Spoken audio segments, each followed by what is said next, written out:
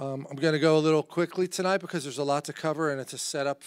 Actually, it's a connection between, we talked about identifications of love, and now tonight it's hearts of stone and inner vows, and then next week it'll be healing victims of sexual abuse. And they're really connected. In fact, a lot of the subjects that we've talked about over the first two semesters are connected. Um, if you just put the slide up about the books, um, if some of you, if something resonates tonight and you'd like to read up a little bit more on it, the book is called Growing Pains. That's the one on the top there. That's one of the four books that the Sandfords uh, wrote. And these two topics, Hearts of Stone and Inner Vows, are found in chapter six and seven of that book, Growing Pains. And then if you just look at this next one like a clock, uh, you probably won't see it that well, but I'll be sending you the slide. So it's good to think of things in, in a certain kind of order in the way we've been explaining it to you and understanding, like somebody said to me this week, I, I, I recognize that I'm on a journey with God and he'll keep showing me things that he wants me to work on.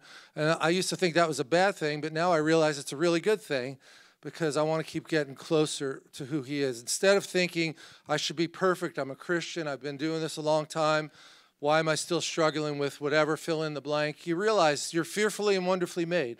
You're very complex in your makeup. Things have impacted you that you don't even connect yet, but that's part of what Holy Spirit does in us is bring up some of the, I don't know, they call it dross in the Old Testament. When they would purify the silver, they would heat up the silver, it would become liquid, and it would start to boil, and all the impurities would come up to the surface, right? So it's not that we're, we're like, looking for problems in our lives. We're just saying, whatever's slowing me down, wherever there's fuel in my engine that's not pure, I want it out because it's hard enough to live life. Uh, every obstacle that can be removed, we want it out, right? That's that should be our goal. And I started there uh, uh as if it was a clock, right? So you would start around 12:30, uh, part one, sanctification and transformation. Okay, that's what we covered right at the beginning that when you become a born again Christian, you accept the Lord, but you're on milk. And you have to move off the milk onto what?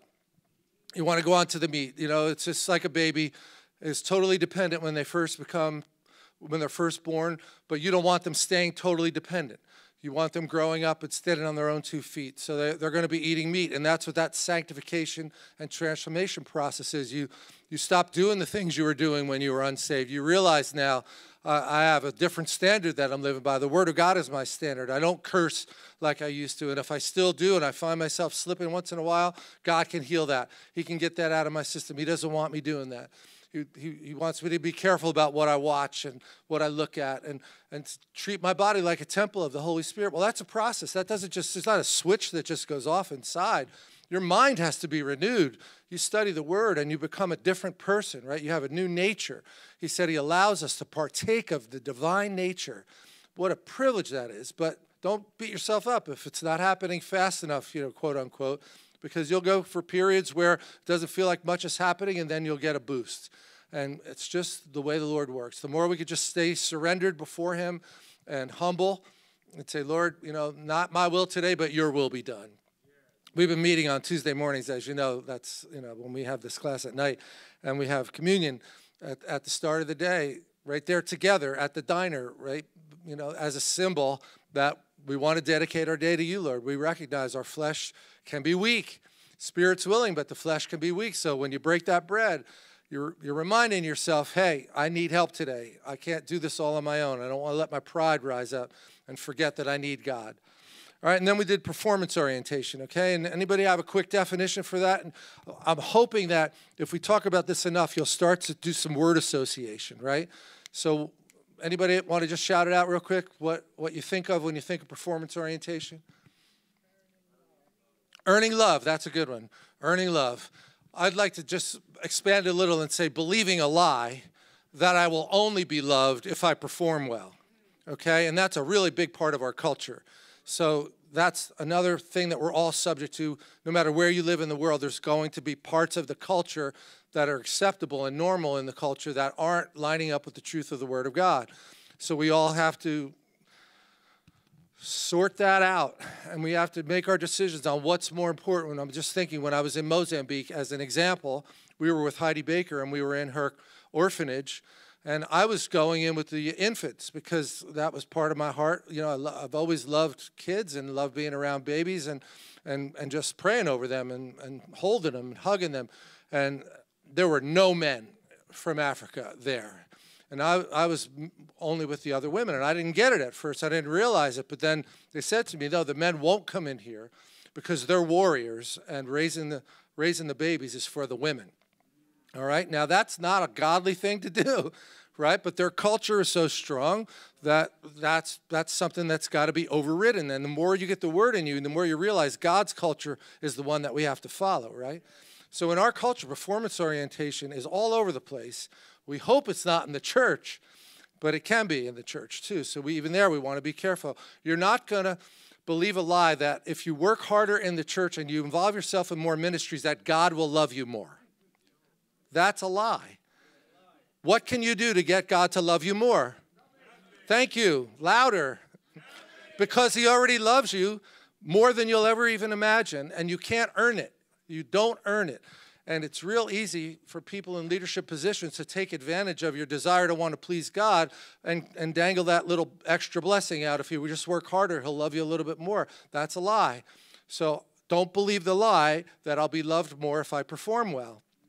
And if somebody's doing that to you, if they're dangling the blessing, but you just never seem to get there, that's unhealthy. That's not a good, healthy relationship. When we do marriage counseling, we say it's not a 50 50 relationship. It's 100 100, okay? And you could argue that their 100 isn't so good. Well, okay, we all feel that way at some point in the marriage. What you want to know is that person is all in and they're giving it everything they have, right? And they're trying with the best of their ability and God will change them. And it's one of the greatest compliments somebody could pay you is I've known you for 20 years and you've really changed for the better since I've known you. I've watched you grow in your walk with the Lord, right? What a what a wonderful thing. Accomplishing forgiveness is something we'll touch on tonight. It's very hard to avoid that subject as a Christian. You're always you'll have to think about this. I, I just said today to somebody, you have to have a clean slate if, if you think you forgave the person, but they still owe you something, you haven't fully accomplished forgiveness, right? There's a debt in the account that they still owe you. Well, that's not completely releasing it, and that's what accomplishing forgiveness means is that you really want the best for them. They don't owe you anything, and you've let them go. If you see them, you're not going to be upset and you know, pray that a car rides by and splashes them with that cold, icy, slushy stuff. Get them, Lord. Oh, then you didn't really forgive them, okay? Yeah, so I won't even go down that path. How about bitter root judgments? What do you think of with that? Any, any word association pop into your brain? Bitter root judgments. It's from Hebrews chapter 12. And it says, Beware lest any of you fall short of the, of the grace of God, and that that bitter root judgment that you're holding in your heart will not only defile you, but will defile many. And a judgment is a sin. It's, it's, it's degrading other people and saying they're never going to change. They can't change. They're basically irredeemable. And aren't you glad God didn't say that about you? See, when you make a judgment about a spouse or a parent or somebody that's a primary relationship in your life, that's a sin, right? Especially if it's towards your parents, because the Bible says, honor your mother and father, not just when they're honorable, but honor them at all times I see a mother and a son back there. You should be looking at him and saying, hey, pay attention right now. Honor your mother and father. That life may go well with you. See, Paul calls it the first commandment with a promise. And then you could say, in any way that I don't honor my parents, life is not going to go well with me. That same rule applies. But they're not being honorable. That's not what he's asking you to do. He didn't say just honor them when they're honorable, because you'll become a parent someday and you'll see how difficult it is.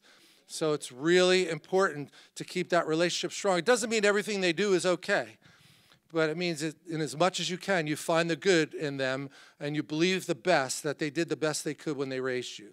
Did they make mistakes? Of course. Are you making mistakes with your children? Of course, right?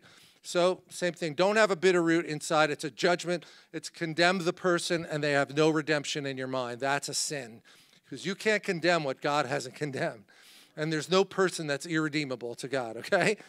And then parental inversion, that's when children are asked to do too much, take on too much responsibility at too young of an age. They're robbed of their childhood. many times they'll carry that forward into adulthood and look like very responsible people, but because they're so used to crisis management, they're not very comfortable just being relaxed and at ease. So even if there's not a problem, they'll try to create one because that's when they feel valued. It's very hard for them to relax, right? The fruit to root patterns is if I'm dealing with an issue, I use anger as an easy one to illustrate it. If I have a quick fuse, if I'm involved in road rage, you know, if there's an inappropriate amount of, of a response to something, there's a root. That the fruit of it is that I'm getting angry, but the root of it is something different than somebody just cut you off. There's a rage going on on the inside, and something's feeding that fire, right? So you could take that across a lot of different things, not just anger, but that's an easy one because we all have to deal with that one, and say, look, I don't want to treat the symptoms. I want to find the source of the problem. And prayer is a wonderful way. If you ask the Lord to say, Where is this coming from? What happened in my life that's causing me not to trust people, or a number of other things? And Easter and Cindy and our team here, we're counseling with people on a regular basis, pretty much every day. There's people coming here for prayer ministry, and that effectively is what we're doing. We're tracking from the fruit in their life back down to the root, because if you want to get rid of something and you just cut it off at the surface, you're not getting the plant's just going to grow back because the root wasn't dealt with, right? So unforgiveness could be one of those main ones. And like you said, you I have forgiven the person. Okay, but if there's still fruit here, maybe you haven't fully accomplished that forgiveness. So there might still be more that you have to deal with. And they're very patient and very good, and everything's confidential, and there's no cost. So we really want you to avail yourself of that resource that's here. Then, when we did part two, I went into this idea of what happens, part of the fruit of dealing with your stuff and, and, and, and coming to grips with what the roots are and, and moving on, being healed of that thing and, and not having to deal with it anymore. It's like getting delivered from an addiction, right? You, the thing that was driving you so much now, the, there's no desire to want to do it anymore. It's just been totally defeated in your life, and resurrection power came in, and now you don't want to touch that thing, whatever that thing you were addicted to was, right? So, what happens as a result of that is your relationships improve. And the devil destroys relationships. That's one of his main weapons is to drive a wedge between relationships. He can't create anything. We're made in God's image and we can create life. So if he can destroy the ability to create by dividing marriages and dividing relationships and breaking up families and siblings and creating all kinds of bitterness among people, that's misery loves company. But you fight back and say, no, I choose, you know, there's so many great verses in the Bible about this. As much as it's within your power, pursue peace with all men. All right? You can't control what they do, but you can control how you respond to what they do. You could take the high road biblically and say, you know what? I know you're upset with me. I want you to forgive me. You're not letting me back into your heart, but I'm going to still keep trying because I want this relationship to work. You don't, you don't bail on people. And that could be part of what we're going to talk about tonight with a heart of stone is that you've been hurt so much that you've just sealed yourself off to protect yourself. But not only are you protecting yourself, nobody can get in. And it's they compared it to like a rock being under a waterfall. You know, it's wet on the outside, but nothing's getting into that penetrated inside, right? So what God does is crack that open, but we have to we have to participate in that process with him and say, you want me to trust again? I don't know. I've been burned so many times. If I trust again and, and I get hurt again, I'm going to be upset with you. and straighten it out with him when you see him when you get up there someday. But here's the deal He's not saying you're not going to ever get burned again. He's saying it's not worth shutting down everything else because you don't want to deal with the problem that you face. People will let you down, but you, I'll give you the tools, God is saying, that you'll still be able to get through it. And don't bail on the whole process just because you don't want to get hurt it's worth it to stay in relationship with people and take that risk. That's a big part of what we'll talk about tonight. Basic trust, that just talked about how if you have a crack in your foundation when you're growing up, uh, it doesn't just go away with time. You could be an adult that's functioning well in a bunch of different areas, but you could have arrested development in this area that wasn't dealt with in that early stage of basic trust. And we find that often and, and it seems very hard for the person to reconcile in their mind like how come my life is going so well in all these other areas but in this one thing i'm having a hard time in my relationships trusting people let's just say well that could be way back into the early days of when you were being raised, and some seed got planted in there, and you might have made an inner vow. That's the other topic tonight, right? Hearts of stone and inner vows. I'm, I'm never going to put myself in a vulnerable position again. That's a vow, right? And that contrary to the Word of God. So we have to renew our minds, right? The Word of God is what renews our minds, but we also have to take every thought captive to the obedience of Christ. And that's not easy to do, is it? How many thoughts go through your brain every day? It takes a lot of work to capture every one of them. And it's like you're you're the guy at the border with the gun and they're trying to sneak in and you're going, "Nope, I, I'm capturing you. You're not coming through. You don't have the papers to get in here. Wrong kingdom. I'm only allowing the truth to come into my brain, right? So that you have to be pretty diligent to take every thought captive to the obedience of Christ. But if you do, then you'll start seeing the next one, which is identifications of love, which was taught last week. And that's where what was normal to you might not be normal in the Bible. You might have been raised in a home with a lot of violence. You might have been raised in a home where you had no control over it, that one of your parents or both your parents were alcoholics, right? And now you're seeing all of this chaos going on on a regular basis, a lack of predictability, and children need predictability. They need rules. Life is chaotic enough for them just trying to figure out how it all works. And if they can't even count on a consistent answer from the main primary people in their lives, it feels like they're getting scrambled. But they could also identify oh, I guess if a man loves a woman, he gets physically violent with her because that happens in my house all the time. That's not the God identification of true love. But if it seemed normal to you, you don't have a clue when you when it's time for you to get into a relationship and you might not even realize it. You might be able to say in your mind, "Well, I know that's wrong." But there's another lever on the inside that says, yeah, but that's not as bad as what I saw growing up. But your friends who didn't grow up in that environment are like, why would you put up with that? So, oh no, it's not that bad. He means well, he loves me. and all of a sudden, there's no gauge. You don't have a benchmark to go back to of what the right normal would be. So we ask God, show me if there's an identification of love in my life that doesn't line up with the truth of your word. And I just don't realize I'm a victim of the circumstances I grew up in. And you might remember that I gave you that, uh, that link to Danny Silk's CD called, called Your Normal. Okay, it's a great example of identifications of love. Sherry was that girl. She grew up in a home with a lot of violence and she was shut down when they got married. Danny grew up in a home where his mother had 30 different people living in their house over a course of like five year period, right? So he had no connection with a man. He didn't know what it was like. He called it uh, toolbox deficiency of what it would be like to be a father and a husband. And, and he called it, he had no man print he didn't connect with anybody that he could look up to. So he was like this wandering guy out there. Who am I? What, who, how should I live? What's the right way to live? And it wasn't until he got into Bethel and he was surrounded by godly couples, especially, that he realized that a couple could even last more than 15 years. He didn't know anybody in his whole life that had been married more than 15 years. And now all of a sudden he was with people that were 30, 40 years together and counseling. And, you know, some things are taught, but most things are caught. And when you get in a healthy culture and now you're surrounded, now he's just soaking it in. Like, oh, now I know what I can do with my wife, Sherry. And now they're amazing leaders. Like they've overcome tremendous obstacles in the natural because that's what God does. He gives you that ability no matter what's happened to you. And we really feel confident to say, no matter what's happened to you, watch the Joyce Meyer video and, and you'll see what I'm talking about.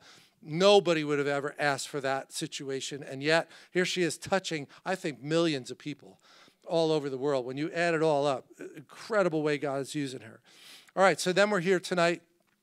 Hearts of Stone and Inner Vows. Next week will be healing victims of sexual abuse, then spiritual rebellion, slumbering spirit, and burden bearing. These are deeper topics than those first earlier topics, right? We wanted to lay a foundation for you, and, and you know, next week especially, very few things in life, there's very few traumas somebody could go through in life that changes the wiring of your life more. You know, the Bible says he'll make the crooked way straight. Well, you want to talk about a crooked way. Somebody that's been sexually abused has a really hard time trying to sort life out after that. It's such a violation. And, and it might manifest itself in many different ways. But again, as Christians, as people who love them, as the ones who Danny saw, let's just say we would rather be the ones that when that person comes into church, they could look at us and say, oh man, you're living a life that's so different than anything I ever saw, and I want what you have. And we're saying, well, we were in the same boat when we walked in, and somebody else helped us. So, you know, God's no respecter of persons. If He does it for one, He'll do it for all of us, right? So we want to know what the core issues are, and sometimes you just have to cry with people. You don't try to tell them all the 10 steps to get out of the problem they're in. They just need to mourn, they just need to grieve. And, and we'll talk a, a lot more about that in detail next week, but you know, just recognize even what we're talking about tonight, I'm going to go a little faster than I normally do because I want to cover a lot of ground.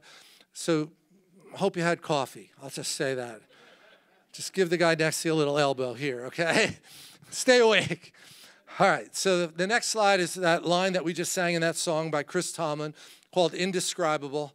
And um, it's really based on that psalm that said, When I look at the stars, right? When I, oh Lord my God, when I in awesome wonder consider all the worlds thy hands have made, I see the stars, right?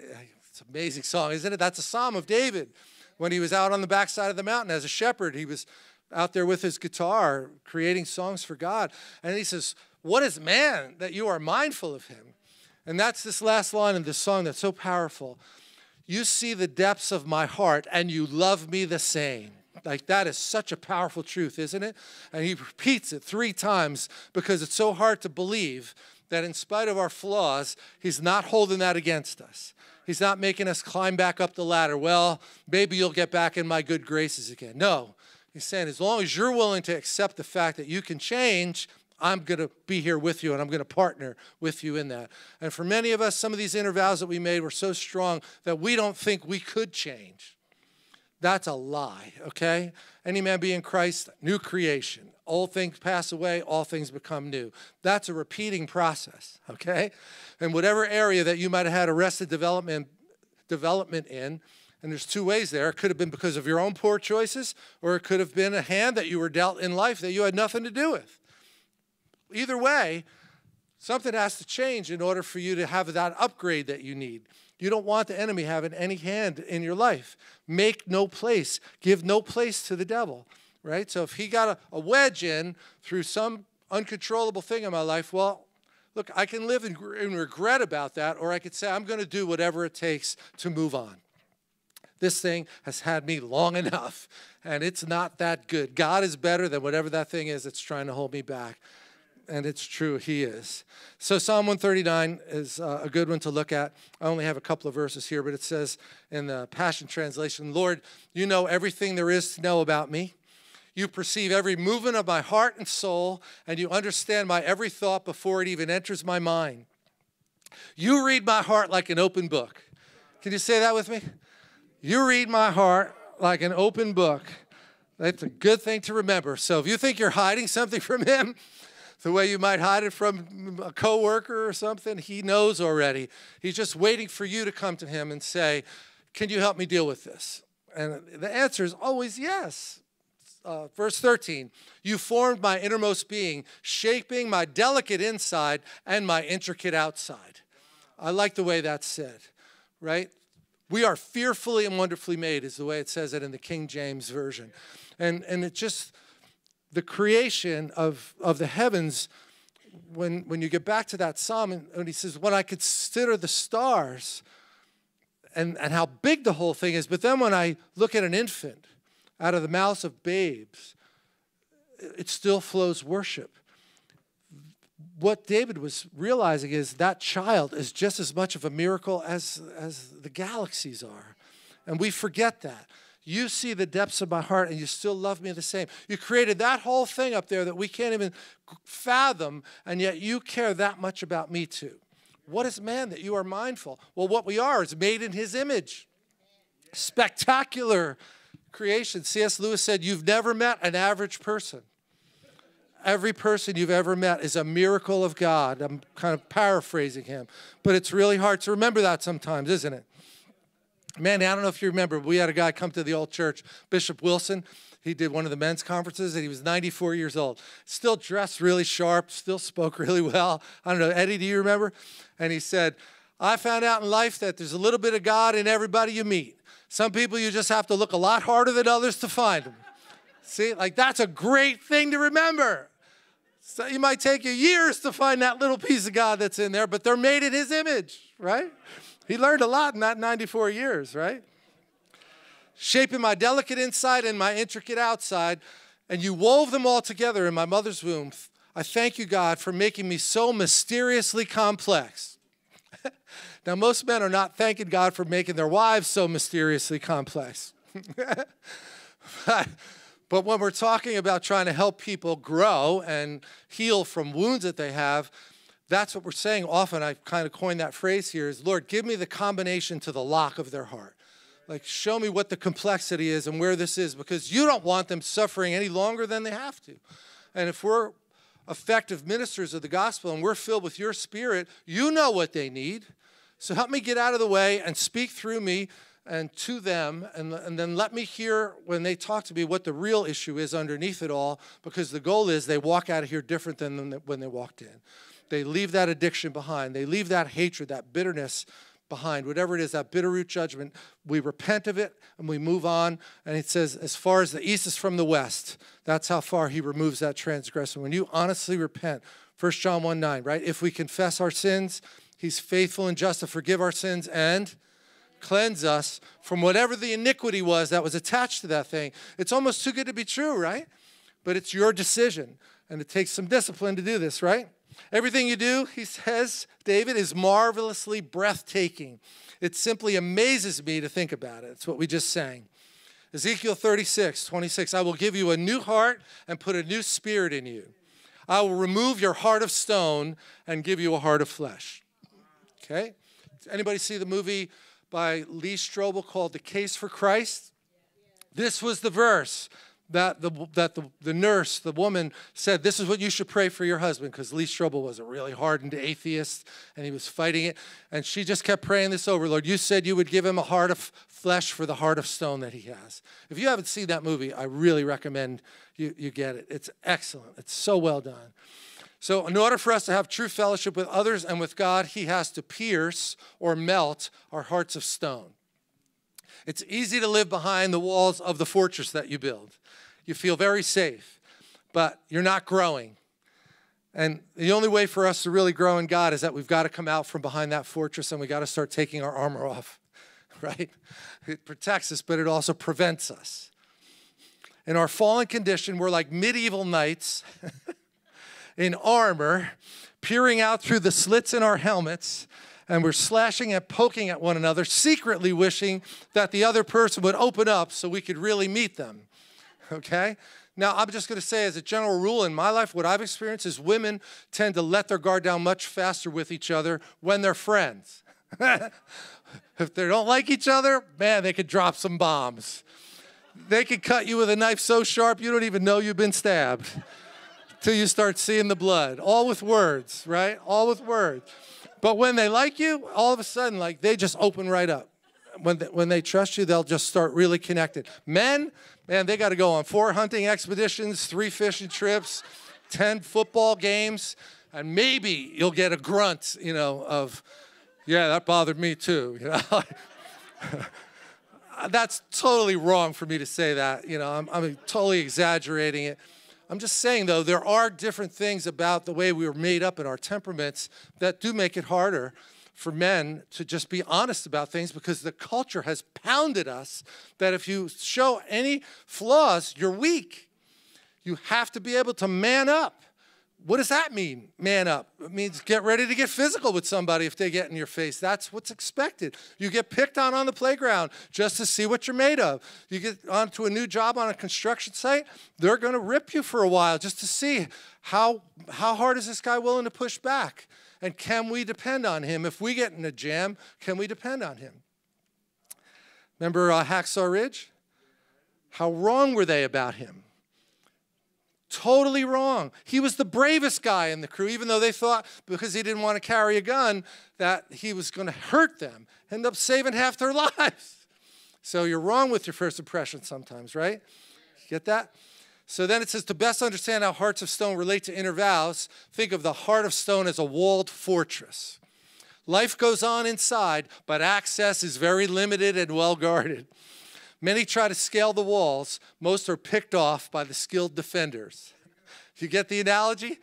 We've learned all these tools will let you get just so close enough, but then all of a sudden the drawbridge goes up.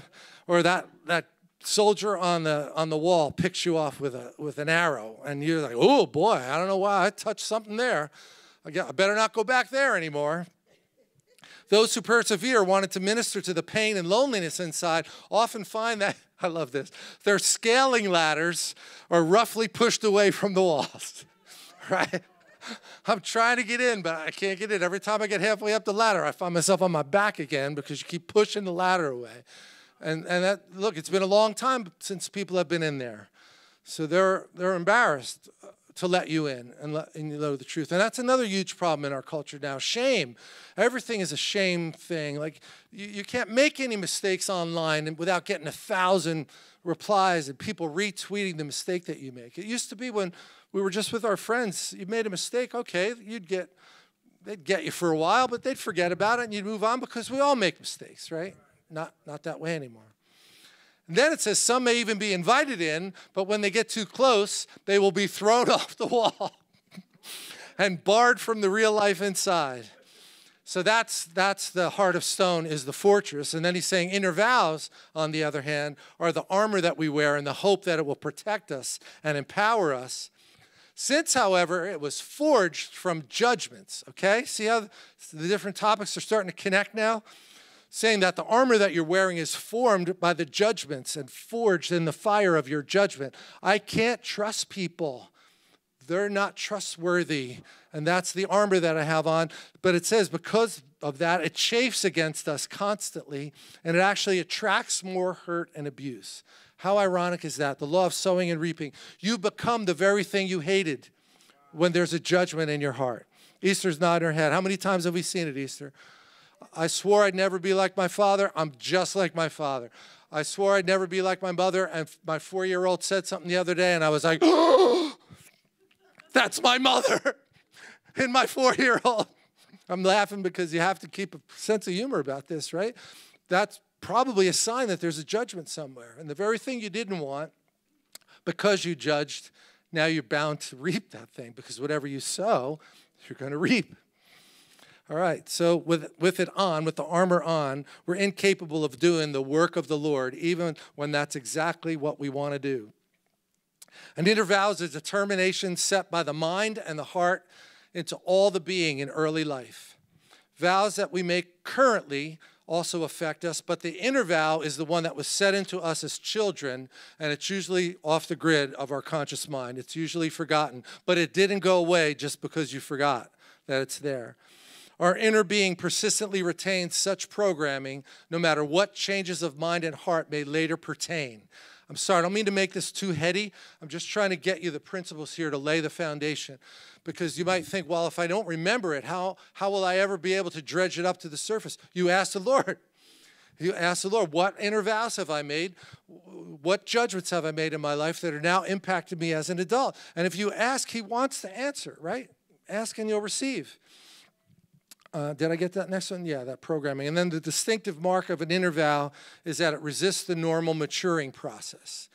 Okay, so um, I already said, uh, I alluded to the fact that you could have arrested development in a certain area.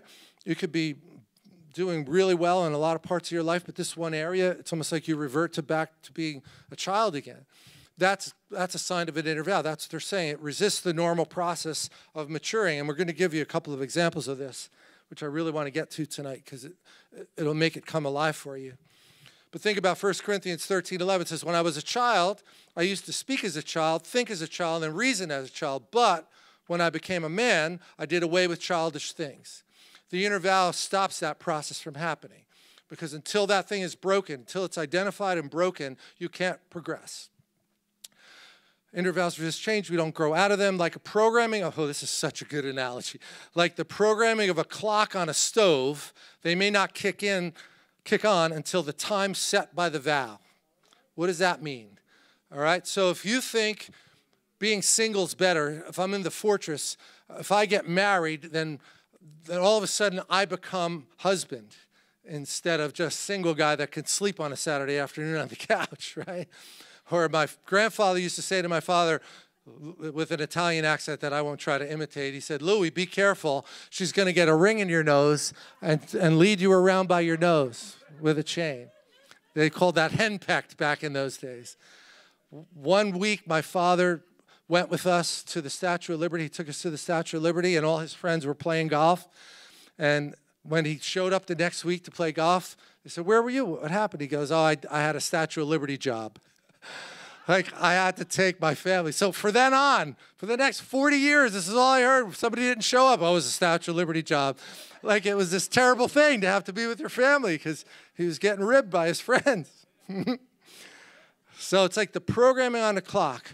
I have a vow against my mother but when I'm single, it doesn't impact me. But as soon as I get married and I have a child, now I become a mother and this clock on the stove kicks in. I know you deal with this all the time. they may rest totally forgotten and dormant, these things, until they're triggered by the right person or the right situation. Haven't forgotten them, we're unaware they exist or could have any effect but they affect us like a railroad track affects a train. The conscious mind may be very good engine, but it can only run on the track that the inner vow set for it in childhood. No matter which way the engineer may desire to go, the train will not change direction unless someone switches the tracks. Who might that be? Jesus, Holy Spirit, God the Father, loving Christians that are around you that want the best for you, no agenda We'll work through this thing with you. We had a similar situation in our life. God set us free. Who the Son sets free is not partially free. He can do it because He can. Boys soon learn that mothers have memories like elephants. no offense to any of the ladies here, that's actually a compliment. So here's an example of what happens in a little boy's heart. Okay, this is a really like practical part of this they discover that whatever you say can and will be used against you in a court of law. Often, whatever emotion that hangs out noticeably good or bad will be used by mama to control.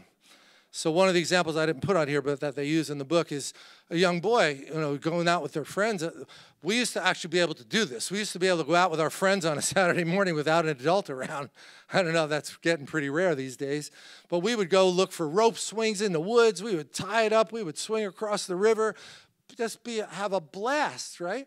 So when you come home and you're going to eat lunch, and she looks down and says, "What happened to your jeans? Why did you rip your jeans?" And you're like, "Mom, we found the coolest place. We put a rope swing up. We were swinging across. It was so much fun. I'm going right back as soon as I finish lunch." What does she say? I don't think so. I don't think so, right? I brought you in the world. you know the rest of it, right?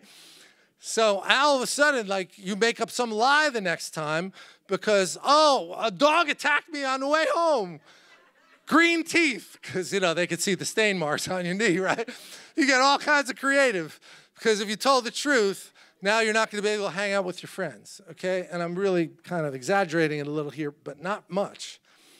It says, I'm going to read it again. Often, whatever emotion hangs out noticeably, good or bad, could be used by mama to control us. So boys learn to hide from their mothers. The less she knows, the better. Whatever she knows may be hauled up for criticism or scolding weeks, months, or elephant years later, because she never forgets. Though all this is normal, sometimes the situation is so tense or the reaction is so vehement that the boy forms a most obstinate inner vow never share what you really feel with a woman not just mom, because it's not safe. Keep the wall up, heart of stone, fortress, armor. You're not getting in because you're going to use it against me later. So we'll just be roommates.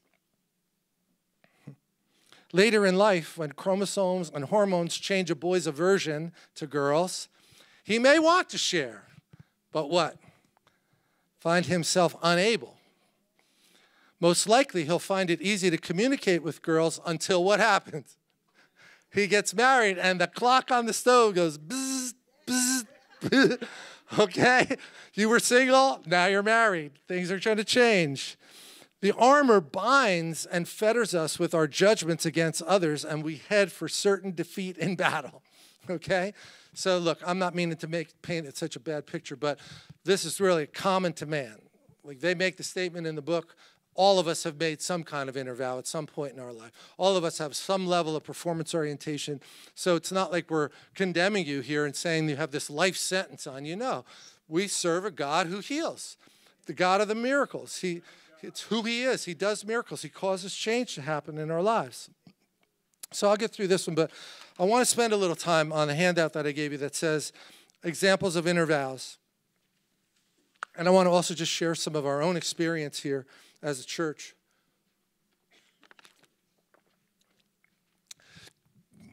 Somebody asked me, like, you know, it'd be good if you share the vision a little bit of the church and how the church was founded because some of us are newer and we don't really, you know, understand how it happened. But what did happen with me and my wife, Tricia, was that we grew up in a, in a healthy church as far as a good teaching, Bible based, prayed for the sick, you know, really good training, but there wasn't necessarily the, the, the freedom to say, I'm dealing with a problem because dealing with a problem was back translated into weakness. I, I don't think intentionally, but that was the result. So she ended up doing a lot of her, her, ministry work was in the church helping counsel people that were dealing with problems. And she was the one that originally introduced me to the Sandfords. And, and it was a real eye opener for us. And we said, you know, when we go start our church, we're going to have right from day one, we're going to help people understand that all of us need work on something. It's not this sign that you're a great Christian because you never get sick and you never have any problems and you never argue with your spouse. That's not reality. Okay? And Jesus wouldn't have made it that way. It's not an impossible goal that we're shooting for here. He understands everything about us. In all ways, He was made like us, yet without sin. So, honestly, if he's the spirit of truth, if his Holy Spirit is the spirit of truth, why should we lie to each other? If you ask me how I'm doing and I say, well, I'm really struggling with something, that's not a sign of weakness. That's a sign of strength. If I can't say it to you, so you could say back to me, i will pray with you. So that's what we did from the very first week that we started. The first Bible studies we were teaching kind of encapsulated this idea that we're all a work in progress. We're being transformed into his image with ever increasing glory. You'll never fully reach it until we get to the other side, but it's a great goal in life is to be transformed into his image. And that's part of the compliment somebody could pay you. I've known you 20 years. You're very different than you used to be in a better way. Well, that's because this process works. If you work it, it will work. All right, so you see where it says examples of inner vows, John and Paul Sandford. Let's just go through this. I'm going to take my time a little bit to help you understand where they're coming from. So it says, A woman came to us who could not bear a male, a male child. Several times she had become pregnant and had miscarried boys about the third or fourth month. Gynecologists could find no physical cause. She wanted fervently to give her husband a son.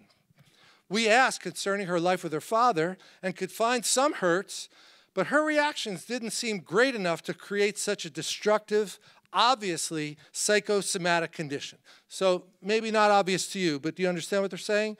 Like if you keep miscarrying boys in the third or fourth month, once, maybe twice, uh, not a coincidence, three or four times, that's what they mean by psychosomatic. That they had learned by this point there was probably an inner vow in this girl's spirit somewhere back there related to this. They didn't have clarity on it yet, but they kept digging, right? That's what we do hopefully in a way that's not painful. We're not trying to hurt anybody when we're digging. We're not saying we were psychiatrists that are going to relive all your past. We're looking for patterns. Go from the fruit on the surface back to the root. So they asked about the father, and there wasn't much there, and nothing to cause that. But then her brother, however, it says, was not like the usual sibling who teases because he loves. This brother was vicious continually embarrassing and physically hurting her. Her father had failed to protect her. She remembered then, at about nine or 10 years old, walking beside a river, picking up stones, hurling them into the water, crying out, I'll never carry a boy child. I'll never carry a boy child. That's an inner vow. She hadn't remembered that until she got into a prophetic counseling situation. Why do I say prophetic? Because if we're only giving you the questionnaire to fill out and we're following a bunch of rules, you took the Spirit of God out of the process. And look, that's risky. And I'll, I'll be honest, that's part of the big lesson that I learned from my wife is how to walk in a prophetic lifestyle, how not to have to know all the answers ahead of time. Because in the business world, you're supposed to know all the answers. If you go to a lawyer and you're paying him $500 an hour, or her $500 an hour, she's not supposed to look at you and say, I don't know. you're paying them to know. So that's kind of the culture. If you're the pastor, you're supposed to know. And when in doubt, fake them out. No, that's not right. But that's what some people do. To admit that I don't know, like, no, then, then you're less than. Well, yeah, but we're all less than somewhere. Let's just be honest with each other. So she hadn't remembered this, but because it was a prophetic atmosphere, that's, that's the emphasis I'm trying to make here, is that from the beginning, before the lady even walked in the office, John and Paula were asking the Lord, Lord, you know this girl. You know everything about her. She's fearfully and wonderfully made, complex, intricate. Lord, we don't want to spend four years trying to get to the root of this thing. You can show us. Where, how do we get there fast so that we're not wasting her time and your time because there's another hundred people that want to come in? And if it's just off of some manual or somebody else's program that you're trying to use, you don't own it. You have to hear from God yourself. But boy, isn't that a model for all of us?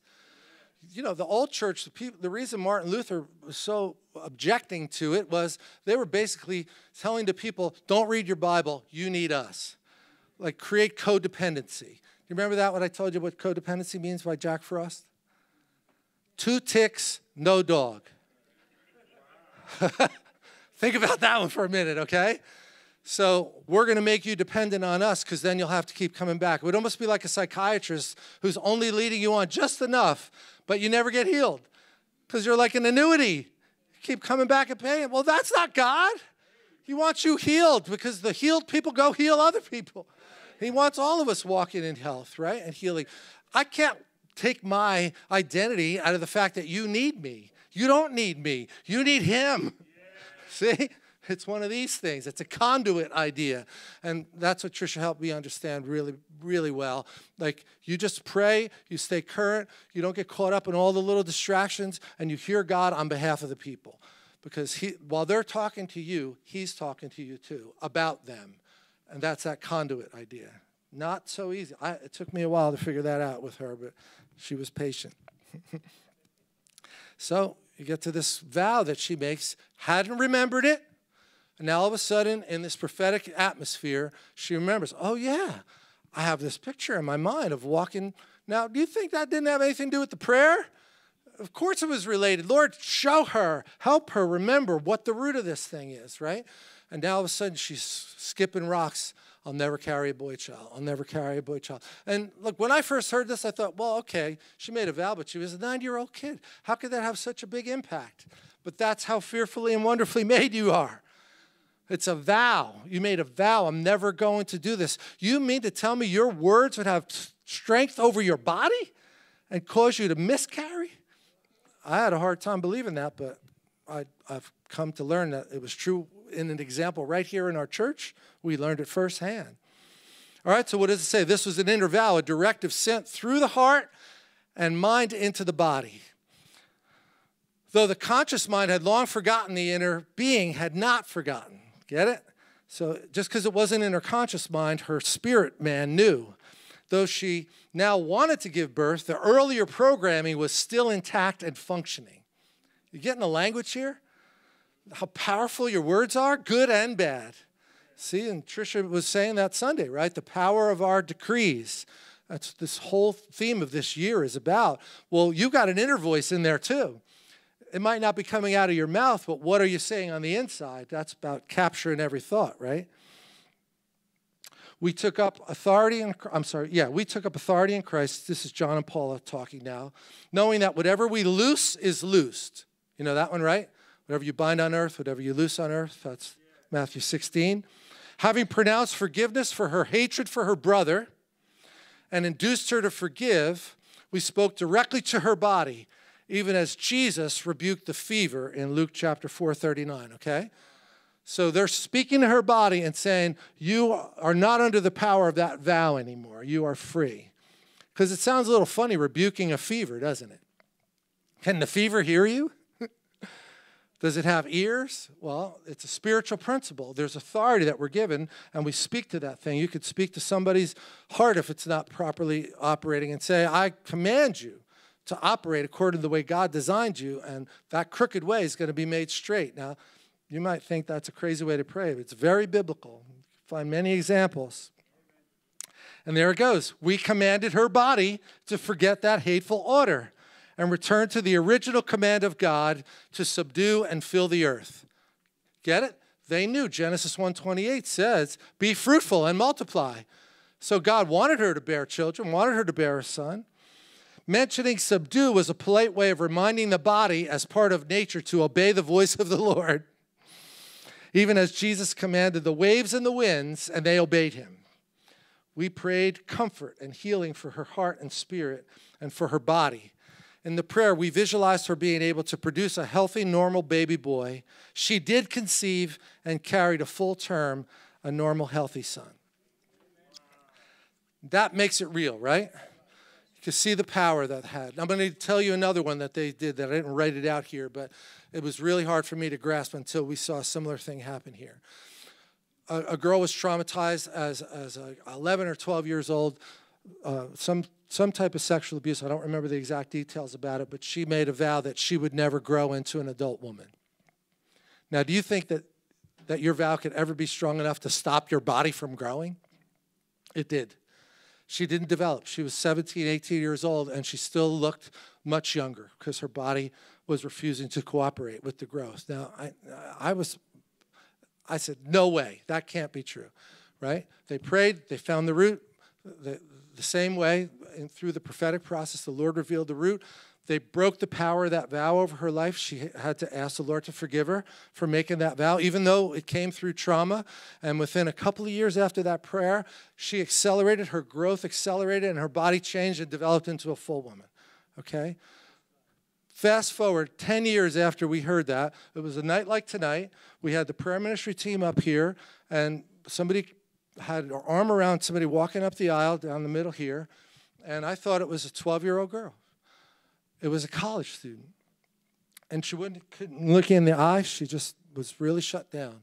And, you know, that's a little challenging when, when you're seeing somebody that's clearly in a lot of pain, and it's emotional pain, it's not physical pain. I won't go into all the details with you, but we did a very similar process to what we just described here.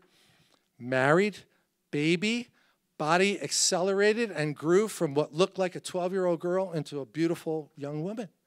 So I'm telling you, I know it might sound a little strange. The power of your words, you probably underestimate the power of your words because if we really understood the spiritual principles, we'd be a lot more careful about what comes out of our mouth. Okay? You still with me? All right, good deal. So, um, you know what? Let's look on the back side of that one handout, the guy in prison with the ball and chain around his leg. We have found this to be a helpful little graphic. I think of it a lot, don't you? You know, when you have a picture in your mind, and uh, it's just, you know, it's, it's a good way to just to see what type of inner vows that people would make. And then you see on the top it says, I will never. And then below his feet, what does it say? I will.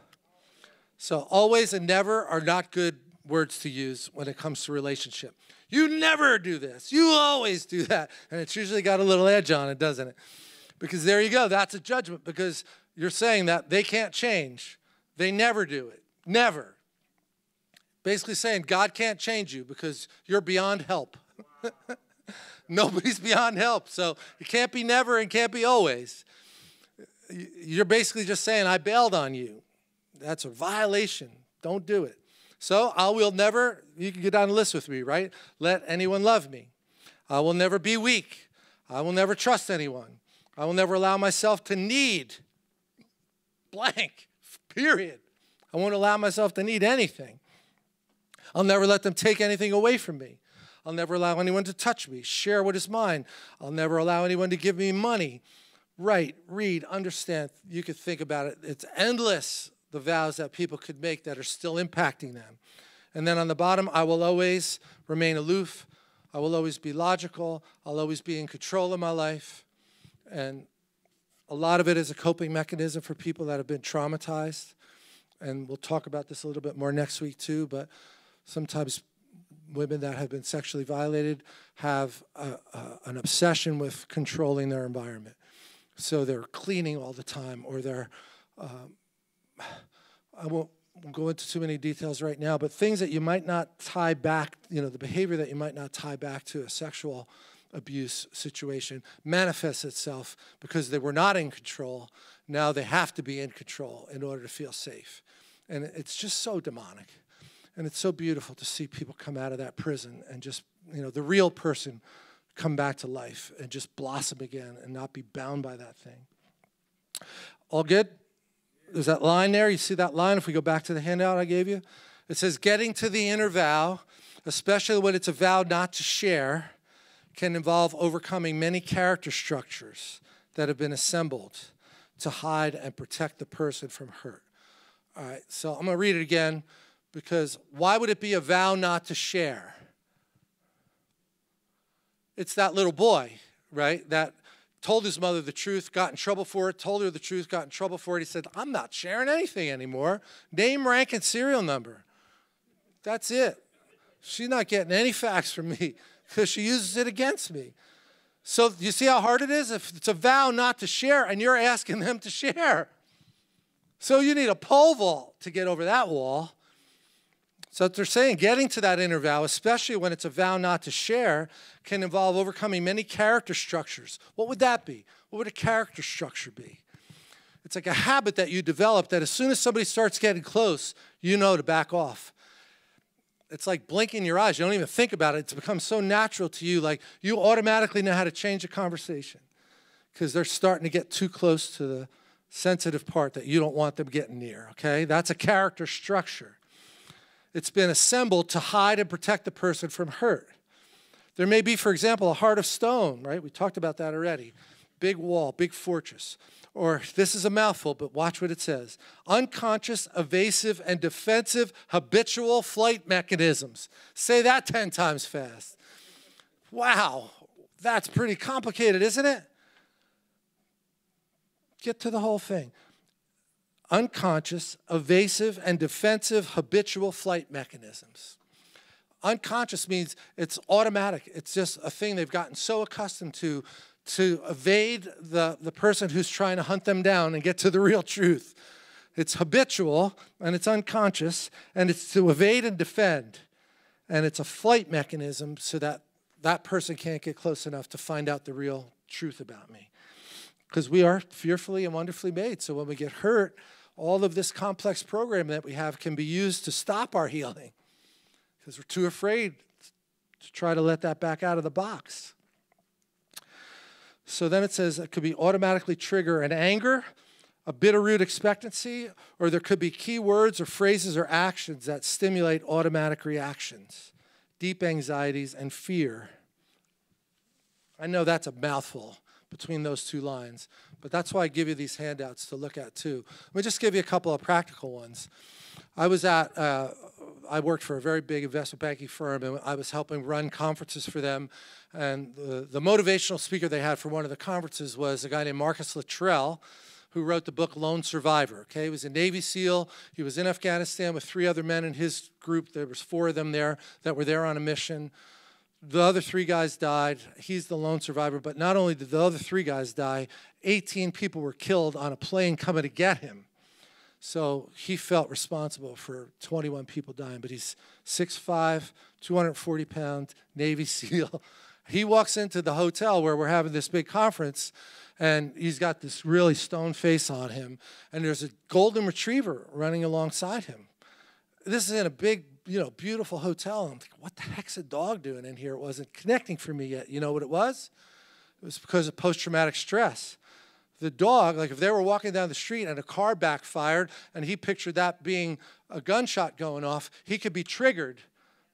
But somehow the dog is trained to sense when that happens because you emote some kind of stress hormone and they're, they're trained to start licking your hand to let you know this isn't real.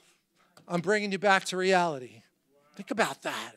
Talk about fearfully and wonderfully made. That's how well they understand how complicated this stuff is, right? That, you know, he had to be, the dog had to be with him. And after listening to him speak for an hour, there wasn't a dry eye in the house. it, it, was really intense, and all you wanted to do was stand up and salute this guy for the courage that it took for him to make it. And, and the thing is, why it was so motivational is because there was a hundred times in the story that any normal person would have just quit. There was no way in the natural he was getting out of there. When, when you hear the facts of the story, the movie didn't really do a great job, I didn't think, after hearing him and reading the book. Uh, that's not my point the point is that we will develop these coping mechanisms and we could get triggered by something that's totally not even on our conscious mind. But the Lord will show it to you. That's, that's the good news here, right? The Lord will show it to you. He was still beating himself up, this guy, about the fact that all these other people died because of him trying to come and get him. He was beating himself up about it. And I wanted to say, You need inner healing, man. You need to come to our church and get some counseling. I hope he gets it because he's a really, he's a hero. Amazing. All right, you ready for another one? And then we'll wrap it up because I know what time it is. We're getting near time to pray. See where it says little girls were created? So we talked about the boy. We talked about a possible vow that a little boy could have. That made sense to you, right? I'm not going to reveal anything. It's going to be used against me, so I don't I don't talk in detail to my wife or any any woman, right? That's a that's a lie. Little girls were created to be the apple of their daddy's eyes. They come to earth innately knowing they are God's gift to ravish their daddy's heart, to comfort, delight, and please. Being received by an appreciative father builds confidence in what will be, is to be a woman. A wife can only fulfill her husband from her own sense of beauty and desirability. Stop. Do you believe that? it's okay. It's okay. That's why I asked. This is, this is a pretty radical statement they're making, isn't it? What, what's the concept? Is uh, when I'm married, if, if I want a strong marriage, the better my wife is doing, the better our marriage is going to be doing, right? If I can confirm her and who she is and make her know how much I value her and appreciate her, and she's here, so I hope I'm doing these things. She's holding up cards in the back six, four, nine. She didn't do that, thankfully. That's a pretty powerful statement, isn't it?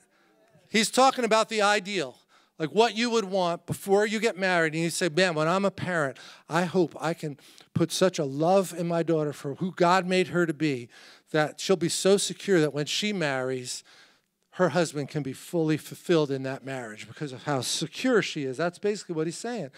A father is the one who builds confidence in what it means to be a woman.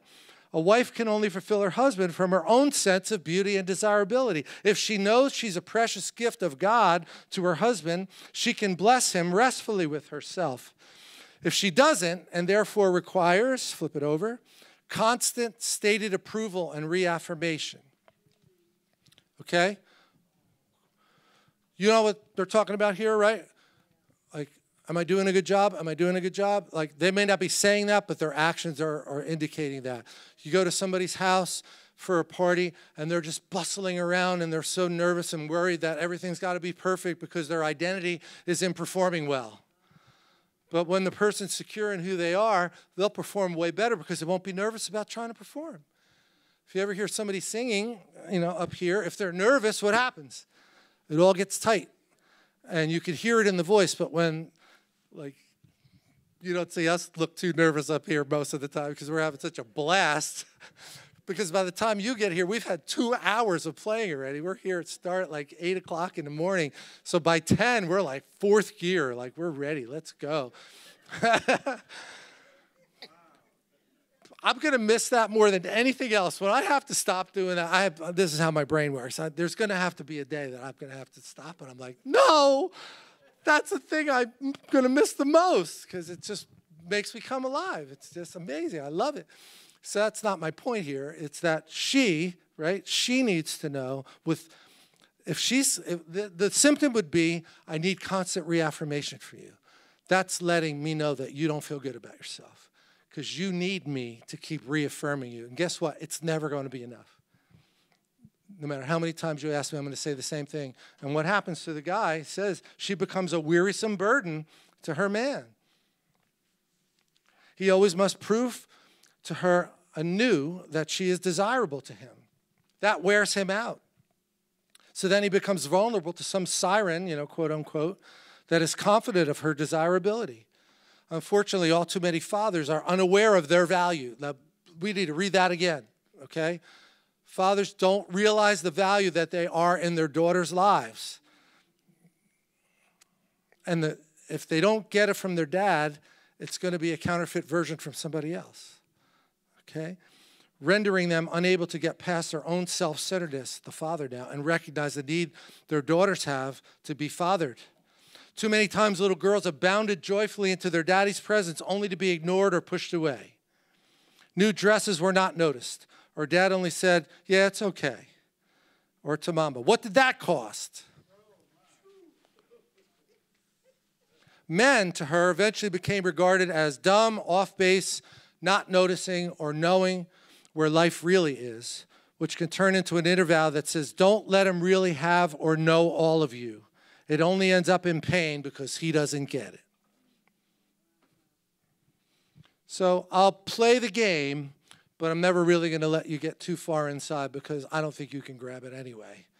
So we'll just go through the motions. That's not God's best, is it?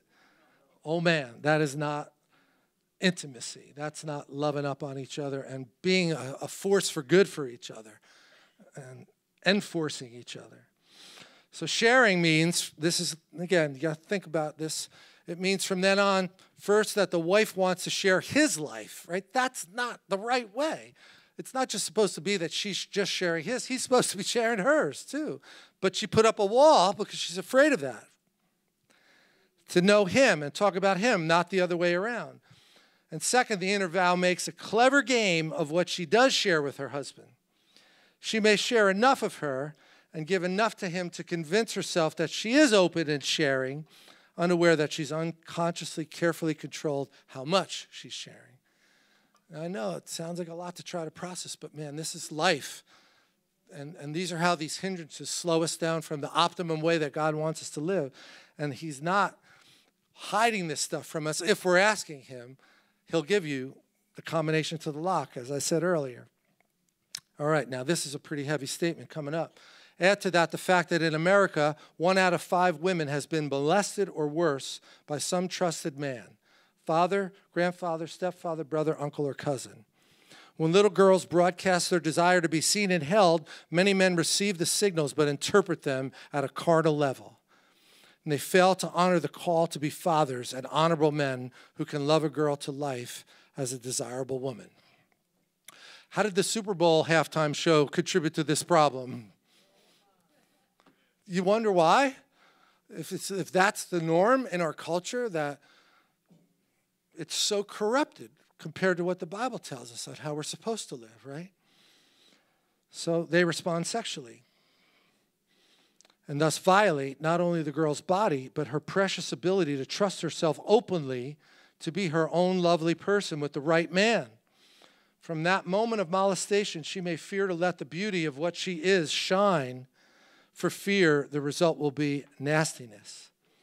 Whether she becomes frigid or promiscuous, we can see that the same root is responsible an inability to give herself fully to the man of her life.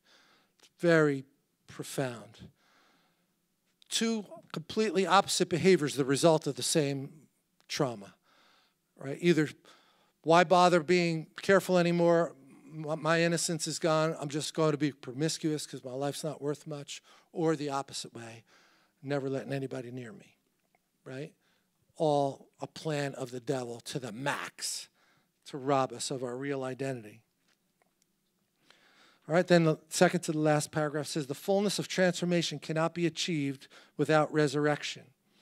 A woman whose father never loved her to life, that's the expression. You're loving the person to life. may come to know herself outwardly as beautiful and desirable and even flaunt it while inwardly feeling ugly and undesirable. But a truly confident person does not need to flaunt. Flirting or any hint of making use of sexual allurement is usually a dead giveaway to inner arid deserts and distress.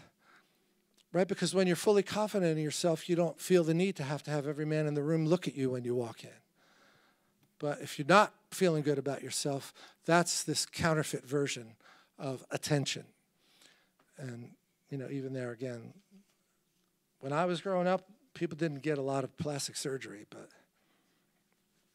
it seems like it's really rampant now, right? I mean, really rampant. Never heard of Botox when I was growing up. But people are so hung up about their appearance. That's not the secure person. Your appearance is part of it, uh, and a part that fades, right? So the word tells us no, build your character. That's what's going to shine through. The God in you comes through in your character, and then the appearance glows because He's in you, right? So no matter how many things come to death on the cross, lasting results cannot happen without resurrection.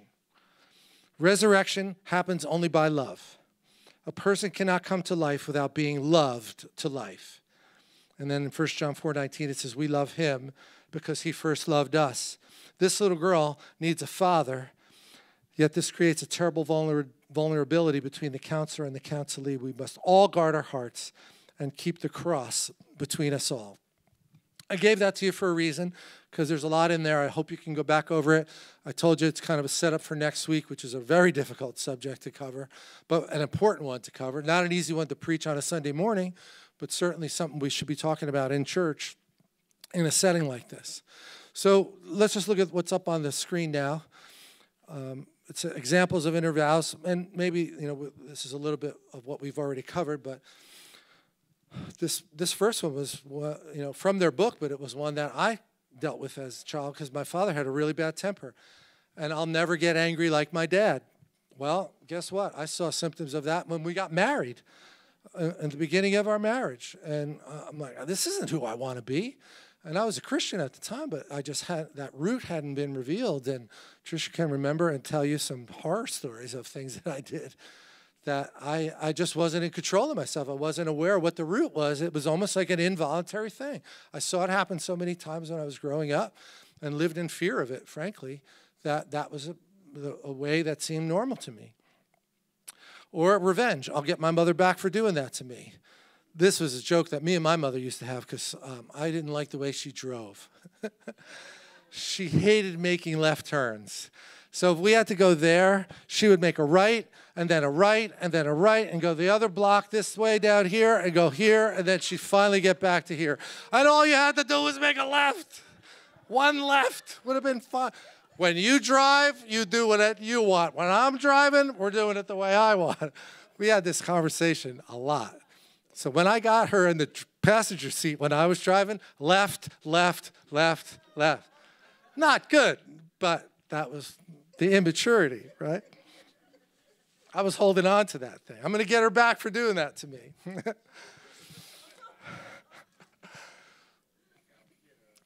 yeah, well, she, she got me saved, so that all changed. or you, you know, there's just a bunch here. I will never allow that to happen in my house. Guess what? The thing that you hated, you become. When I become a parent, I'll never do this. And then this one seems more rampant today than ever. I will not grow up. There's actually a book written about this called The Peter Pan Syndrome Men Who Have Never Grown Up. And if you ever go back over that little story of Peter Pan, that's exactly what it's about. Yeah, you're the king, but you're the king of Never Never Land, which is video games for the rest of my life. Right? I don't want to face the realities that life face that life hands me.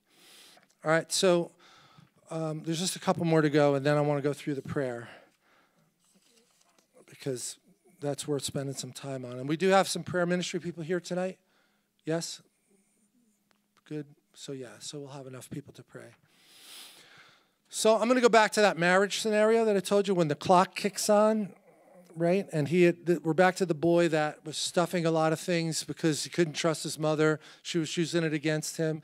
And, and we said that he doesn't even realize why he's withholding from his wife goes all the way back to that thing that happened as a child, right? So it says at the top says marriage puts the woman in a position to trigger that inner vow because now she's basically replacing his mother right how did the, how did your pants rip turns into why is the credit card bill so high this month right you fill in the gap there's a million ways that we could not tell the whole truth to each other Tell the truth, the whole truth. right? So now marriage puts the woman back in the position of the mother that he created this inner vow about. Triggers in him inner vows made that, were relative to the primary males in his life a mother, a grandmother, or sister. Frequently, couples have come for counseling perplexed by the fact that they had good communication until when? until the honeymoon. And then her complaint is, he won't tell me anything anymore. The evening conversation might be like her Hi, honey, how was your day? Fine, just fine. Tell me about it. What do you want to know? How did it go? What happened today? Just great. It went just great. You see, it's the little kid. He don't want to tell her how he got the rip in his pants because he doesn't want to be used against her, him. In no way, look, this is so powerful. In no way does he know that his inner being has no intention to share what's really on his heart. Why? Because what's controlling the vow? You made it. It's your voice. You have authority over your own spirit. Until you break it, until the Lord heals it, that's the thing that's going to be in control. Unknown to him or her, an earlier program has kicked in. Even if he hears his wife and is wounded and perplexed about his inability to be vulnerable to her, on his own, he's not able to change his heart to open and share, okay? Because it's a spiritual transaction, so it takes a spiritual f- a cure. It takes the power of God to break that thing, and that's what they say. This is powerful here. He may repent a dozen times only to return automatically to the same pattern. The problem is that his repentance in the present concerning his wife can't overcome the earlier programming that the vow he made concerning his mother. You with me? Tracking? The repentance is real, but it's for the wrong sin. That's an important concept, isn't it? But I repented 15 times. Yeah, because you're not realizing the devil's a good liar. You think you could change your behavior. You never got to the root. The real problem is the you made a long time ago, right? So the repentance is real, but it's for the wrong sin. The repentance and prayer needed is for the childhood resentments towards his mother. So, Lord, please forgive me for not honoring my mother, for writing her off, for saying I can't trust her, so I'm not going to be honest with her when I come home. That's a, that's a sin that needs to be repented of. But then also, I need God through the counselors and through my prayer to, to break that inner vow. I, I, I renounce it. It wasn't God. It was the wrong thing to do. I renounce and I break the power of that inner vow that was set into my being. And then we get uh, granted forgiveness by the prayer minister that's with us. Amen. How you doing? Going to come back next week? All right, just checking. You know, just checking. All right, so I'd like to spend a little time on the prayer, okay? Good with that? It's 8:28, so I got 2 minutes. I'm going to take a little bit longer, so you're Christian, so you have to forgive me. But it's good to stand when we do the prayer, okay? And then if the prayer ministry team could come up, I'd appreciate that because uh, we don't want to shortchange that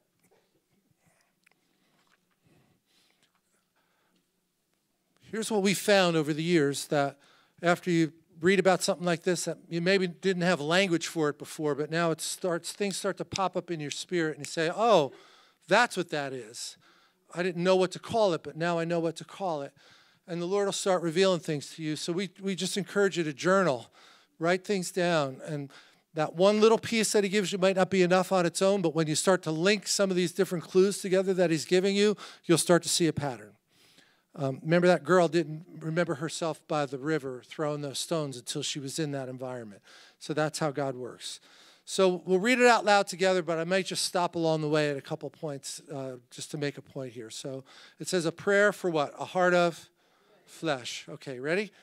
Let's pray together. Lord, I've developed a defense to keep myself from being seen. I've built a hiding place to protect myself from hurt.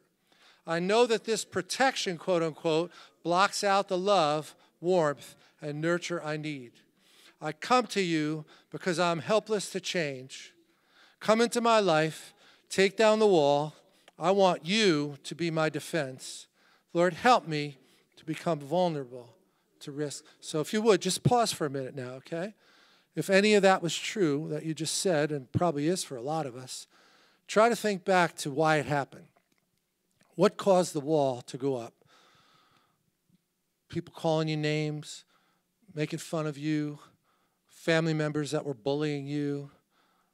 Nicknames are brutal, right? Like they paint a picture for you that just sticks with you. So it's good to forgive them. It's like, I'm letting that thing go. I'm not going to hold that against them. I forgive them for doing that to me that made me have to put up a wall of defense. And the Holy Spirit's really good at showing you these things. We don't have to rush through these. And then it says, All right, ready? Lord, I forgive those people who have wounded me, and I forgive you, Lord, for allowing these wounds in my life. I also forgive myself for my sinful reactions and for building this heart of stone. Stop again, please. it's a really uh, lot in that one little paragraph there. Part of the first part's not so hard to understand. I forgive the ones who wounded me, but to say I forgive you, Lord, that sounds like a little bit of a contradiction, doesn't it? But if any part of our heart is wondering, how did he let that happen to me? That's why I want you to watch the Joyce Meyer testimony, right? She addresses that exact question. Where was God in all of this? Okay? And she does a better job than I can. So really try to pull that out before we get together again next week. It'll really help. And then the last one, not not taught on enough, I don't think, about our need to forgive ourselves. I forgive myself for my sinful reactions. In any other way, I've judged myself or made an inner vow about the unworthiness of my own life. Because God, you see the depths of my heart and you love me the same. Remember? And now I'm not even doing that to myself. You're an amazing God. That whole song takes on a whole new meaning, doesn't it? Man, you love me the same. All right, ready? Father, please forgive me for my sinful responses and for the way in which I have hurt loved ones by keeping them out of my life. I repent for the destruction in my own life and for wounding you with my sin, Lord. And this isn't meant to be like self flagellation, like you're not beating yourself up. You're just saying, you know what, like I said earlier, the devil has stolen from me enough. Over, done, basta. That's what Cindy Jacobs likes to say. Enough. It's finished now. I'm not going to keep living at 80% when he wants me at 100%. And holding this stuff back to protect myself hasn't been protecting me. It's been stunting me. And I'm going to have enough courage to step out. All right, and then it, it, you know I like what it says. I repent for the destruction of my own life. The destruction is I never grew the way I was supposed to, because I stunted my own growth. And um, all right, let's just read the next paragraph. Ready, Lord, as an act of my will, I choose to be connected with others within my family and the body. I want to be intimate. Forgive me, Jesus, for not trusting the love offered me by my spouse children, and fellow Christians. Help me to see and appreciate the gifts of others. Put a guard on my lips that I may build up instead of tear down. Help me hear the warnings or rebukes as love and not as rejection. Help me to hold myself in vulnerable position of receiving ministry, not just offering it. I ask you to bring people into my life who know how to love unconditionally and still have the courage to hold me accountable. Bring to death my heart of stone and give me. Oh. Boy, you could spend some time on this prayer, couldn't you? So, that last paragraph, just saying, as an act of my will, I choose to be connected with other people. That may take a little while, right? Because if you've spent so many years perfecting your defense mechanisms, these have to be deconstructed now and you have to break lies that say you're safer by don't even try to engage. Just keep an arm's arm's length distance. That's the better of the two evils. But by saying i'm willing to be vulnerable again you're saying i'm probably going to get hurt again but that risk is lower than just con- con- constantly hiding behind my wall okay? And then to break an inner vow ready? The person receiving ministry would say, I renounce the vow, and you would name it specifically because the Lord will show you. he's really good about this. He'll show you. And the reason it's good to be in the prayer room and, and, with prayer ministers is they can then say, by the power and authority of Jesus, I break this vow. I command your spirit and body to remember it no longer. You are free, restored to your original design. You are no longer required to feel, think, act according to this vow. In the mighty name of Jesus, amen. All right, so here's the deal the world is waiting to see all of you. They're in trouble. The devil's in trouble when all of you comes out of hiding and you just flourish into who God made you to be. And I'm looking around, and I know some of you experienced this already, um, just in the time I've known you. And it's awesome, right? More than a black eye for the devil that you are not cowering in the corner anymore, but you are stepping into who God really called you to be because a lot of people have never seen that part of you yet, but they're going to in Jesus' name. Amen. So let's just pray. Lord, I just bless your people. I thank you for their willingness to be here, to absorb this information, and to have their heart and their spirit, man, open to what you want to do for us. Help us to break the power of that lie and those vows that we made, or to tear down that fortress and take off the armor that we think is actually helping us when it's really not because we want to live the full life that you created us to be. You had a plan for us. Right in our mother's womb, you knew who we were supposed to be in you. The devil has tried to derail that identity, but we say no to his plan and we say yes to your plan that we will be all who you created to be, exceedingly abundantly above all that we, in our natural ability, could ask or imagine. But we know the plans that you have for us plans to prosper and we receive that prosperity in spirit, soul, and body in every areas of our lives. In Jesus' name. Everybody said it.